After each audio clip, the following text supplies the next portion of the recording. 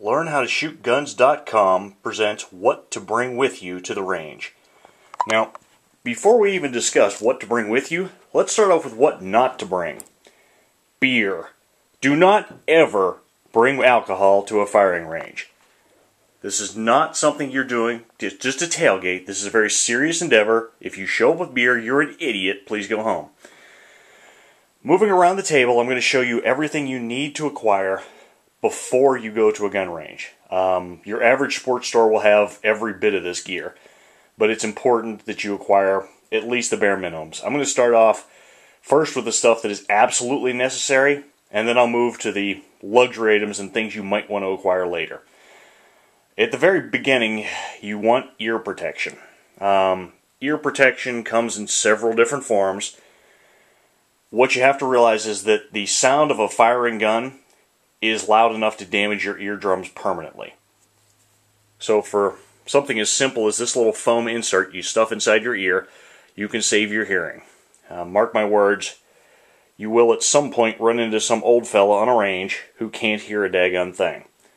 Uh, these come in lots of far lots of forms, from the very simple to stick in your ear to the more advanced ones that look like Mickey Mouse ears. Um, and if you go further into the sport, you get to the electronic noise canceling ones that the little light tells me that this is on. Uh, what this does is it has a battery inside it that cancels out any noise above the level your ears can tolerate, but it still allows you to hear conversational tones. So if somebody says something like, hey, is that a rattlesnake by your feet, you can still hear them. The next thing you want to protect beyond your ears is your eyes. Um, as you shoot, you will notice that brass flies out of the guns at odd angles. To keep it from hitting you in the eyes, they make lots of shooting glasses. You can get the regular clear kind, you get ones that look like sunglasses. If you wear prescription glasses, not a problem. You put on a little of these side shields. It's kind of hard to see here, but they're clear plastic side shields that fit on the side. Uh, keep brass from hitting you in the eye. Uh, the next thing you want is a hat. It's a regular old baseball hat with a brim. If you want to look cool, you want a military hat or a police hat. The purpose of the brim is to keep brass as it's flying up in the air from falling down the front of your shirt. The brass is hot enough that it may actually burn your skin, so keeping it out of your clothing while you're shooting is kind of important. Next thing you're going to want is gun cleaning gear. A standard gun cleaning kit like this, I don't know, $20, $30, very important. You need to take care of your gun so when your gun is needed, it'll take care of you. It should have the following components at a minimum. You're going to want a push rod, a brush to clean the barrel. Um, you'll want an eye ring to be able to put patches through your barrel. Some of them will come with these little, they almost feel like lamb's wool. They're also used to clean your barrel. You know, a scrub brush type device. Someone has little dental hook looking devices for pulling out all the stuff that might jam up your gun. Uh, you're also going to want some chemical gun cleaner. You spray this in all the parts that are dirty to help break up all the carbon that's compressed in there. And then lastly, you're going to want to put some sort of lubricating oil in there. Uh, it's all very important to keep your, your gun functioning properly. Uh, next thing you're going to want to bring, obviously, is your gun.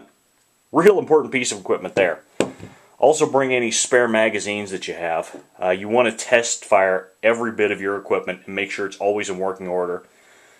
You know, bring the carrier that your gun came in so you, you know, make sure that you have everything that's supposed to be with it. I also want you to bring at least two different kinds of ammunition. Uh, I have an article coming about this in the future.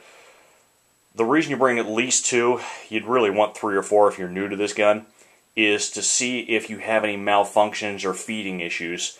Some guns don't really work with some types of ammunition, and you can read all you want, but really the only way to figure this out is go out and try.